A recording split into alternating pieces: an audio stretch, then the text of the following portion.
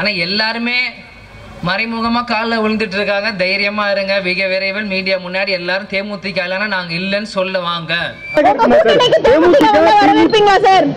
உங்களுடைய நல்ல எண்ணத்திற்கு என்னுடைய பாராட்டுக்கள் நன்றி.